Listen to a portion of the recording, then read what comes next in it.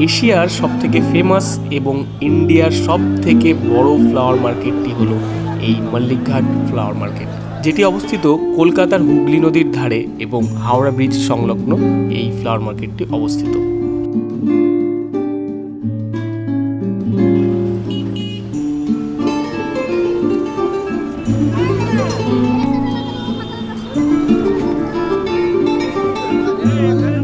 Flower মার্কেটটি কিন্তু বহু পুরনো একটি ফ্লাওয়ার মার্কেট আঠেরোশো পঞ্চান্ন সালে যখন রামমোহন মল্লিক এই মল্লিক ঘাট তৈরি করে, তখন থেকেই এই মল্লিক ঘাট ফ্লাওয়ার মার্কেটটির সূচনা হয়। এই ফ্লাওয়ার মার্কেটটি কিন্তু ভোরবেলা সাড়ে তিনটের পর থেকেই শুরু হয়ে যায়।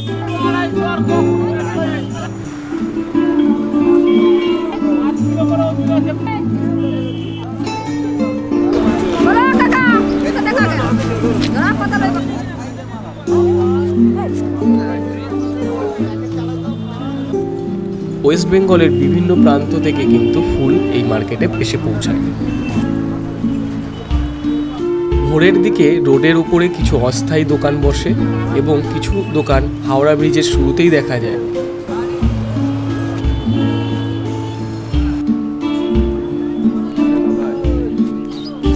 তবে এই অস্থায়ী দোকানদাররা কিন্তু লোকাল নয়। তারা ওয়েস্ট বেঙ্গলের বিভিন্ন প্রান্ত থেকে ফুল নিয়ে আসে বিক্রি করার জন্যে। অর্কিড। অর্কিড? Orchid orchid. হ্যাঁ ভ্যালেন্টাইন্স ডে দিন নিয়ে এসলাম বিক্রি হয়ে গেছে। কিন্তু আজকে কেউ বলছি যে কেউ নিচ্ছেই না। আড়াইশো টাকা। আমি ব্যাঙ্গালোর থেকে নিয়ে এসেছি। না এই আমাদের এখানে না সব ব্যাঙ্গালোর থেকে নিয়ে এসেছি। যা দেখছেন এইসব রোজ হয় কিন্তু রোজ আমাদের এখানকার রোজ আর এই রোজের মধ্যে বহুত ডিফারেন্ট আমরা তো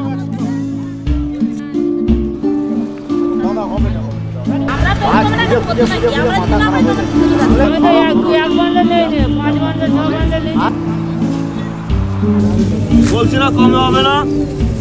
এখন আমাদের সময়, আবার তোমাদের সময় আসলো তখন। ও নাও নাও হাওড়া ব্রিজের পাশ থেকেই রয়েছে একটি সিঁড়ি। যেই সিঁড়ি বরাবর আপনারা যদি নিচে নেমে আসেন, তাহলে দেখতে পাবেন মেইন মল্লিকঘাট ফ্লাওয়ার মার্কেটটি, যেখানে স্থায়ী প্রচুর দোকানদার রয়েছে।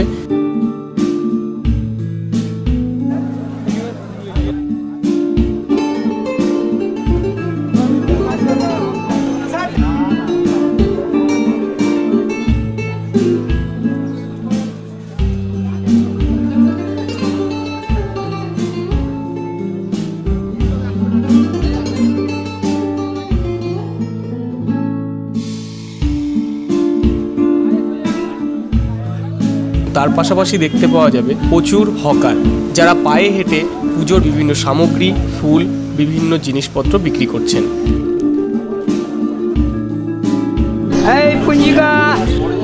বাংলা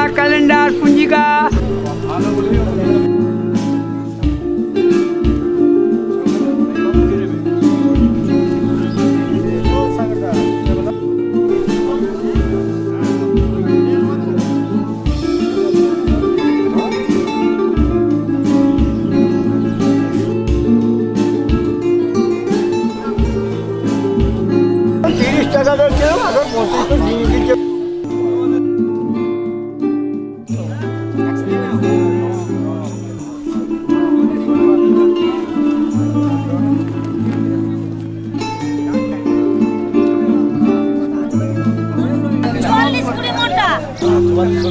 চুয়াল্লিশ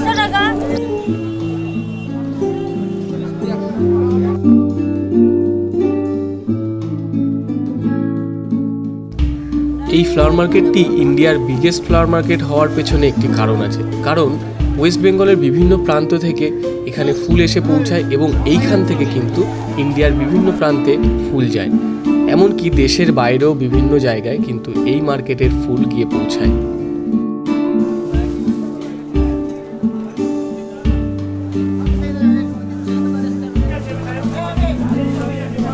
যারা যারা এখান থেকে ফুল কিনে বিভিন্ন স্টেটে অথবা বহুদূর যাত্রা করেন, তাদের জন্য এখানে বরফ দিয়ে ফুল সংরক্ষণের ব্যবস্থা রয়েছে।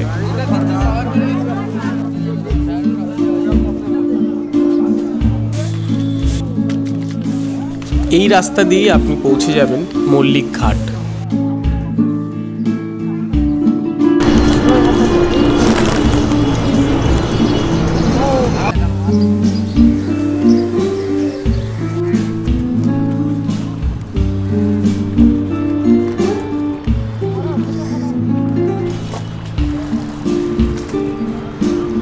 জলে চুবালে এটা মালটা একবারে পুরো খরচা হয়ে গেল কত দূর যাবে এটা তুই বাইরে চলে যাবে দিল্লি যাবে দিল্লি